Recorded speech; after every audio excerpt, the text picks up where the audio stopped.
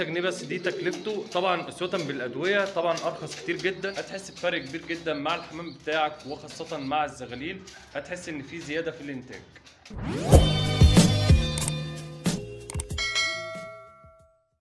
بسم الله الرحمن الرحيم. السلام عليكم ورحمة الله وبركاته. معاكم أخوكم حسين أبو عبده تحياتي لكم جميعا. يا رب كده دايما تكونوا بخير وسعادة. الفيديو بتاعنا النهارده هبدأ فيه موسم الإنتاج.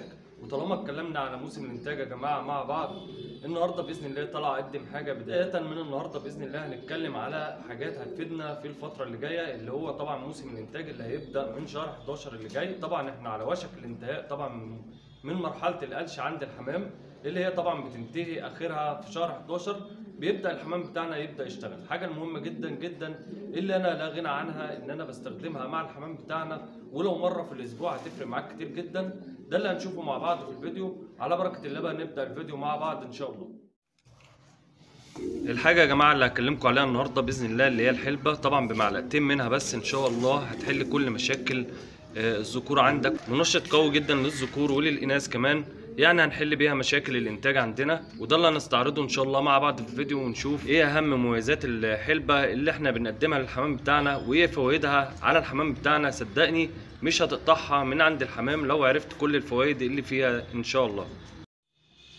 طبعا يا جماعة زي ما أنا اتكلمت في أول فيديو إن إحنا أهم حاجة طبعا إن إحنا نخلص موسم القلش اللي إحنا شايفينه عند الحمام طبعا كتير جدا بيعاني زي ما أنا بعاني كده زي ما إحنا شايفين طبعا الريش اللي بيبقى على السلكات. فمحتاجين طبعا إن إحنا في الفترة اللي جاية إن شاء الله نقدم طبعا الحلبة دي بتساعد على لمعان الريش وخاصة مفيدة جدا في مرحلة القلش.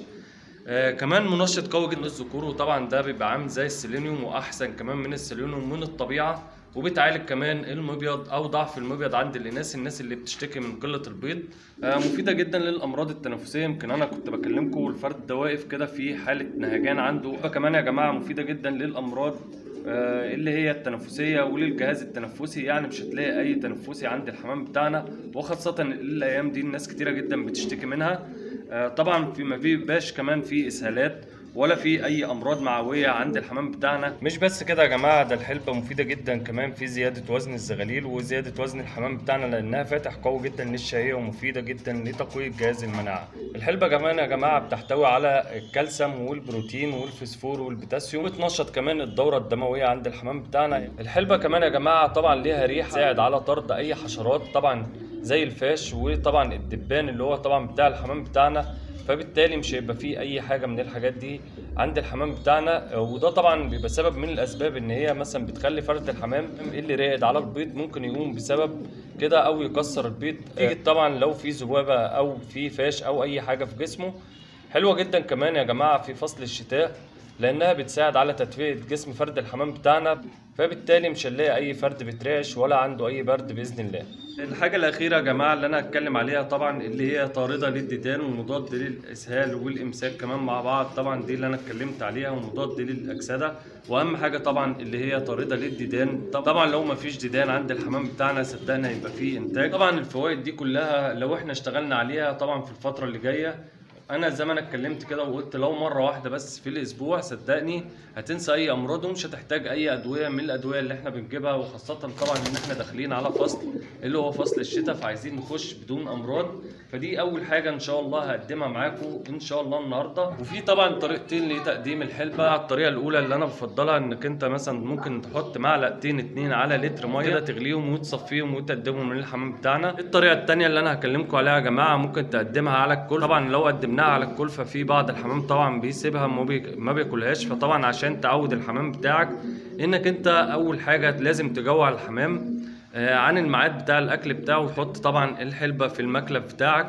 آه، طبعا الحمام هيبقى جعان فلا ممكن يتعود عليها. ممكن بعد كده إنك تقدمها طبعا في الكلفة. هنشوف طبعا طريقة التحضير دلوقتي مع بعض ونبدأ نمسق للحمام بتاعنا. دي زي ما إحنا شايفين. طبعا زي ما إحنا متفقين إن إحنا بنحط معلقة واحدة على 2 لتر ولكن أنا مزود هنا الكمية طبعا زي ما أنا اتفقت معاكم عشان أنا هرجع أخفها بالطريقة دي كده.